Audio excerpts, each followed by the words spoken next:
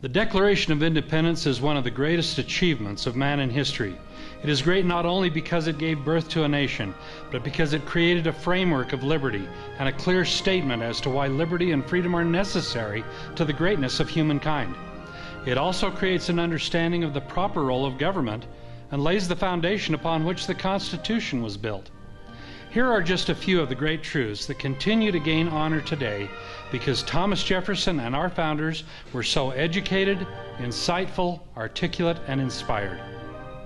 Mankind has unalienable rights, granted by their Creator and not by government. Governments do not create these rights, nor do they have the right to take them away from law abiding citizens. These rights include, but are not limited to, life, liberty, and the pursuit of happiness. You may notice that happiness is not a right granted by government or God, but the ability to pursue happiness is. One other unalienable right that was mentioned in the first draft was property. While Jefferson and others felt that ownership and personal control of property that had been created or legally purchased was one of these rights, it was argued that some might think that governments would need to be in the business of providing property to citizens and that was diametrically opposed to the right they did believe in the pursuit of happiness, which included the creation, ownership, and control of property without government interference, as long as the rights of others are not infringed upon.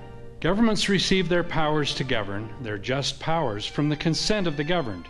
In other words, the people have the right of self government, and only the powers that they, the people, collectively agree to allow the government to exercise are permissible to that government. The government is rightly there to serve the people, not the other way around. It is the duty of the government to protect the rights and safety of the governed. When government becomes abusive of these rights, that government should then be changed or abolished.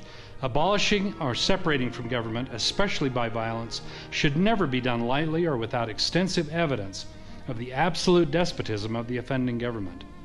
These founders, 56 in all, representing all the colonies, pledged their lives, fortunes, and sacred honor to these principles of freedom.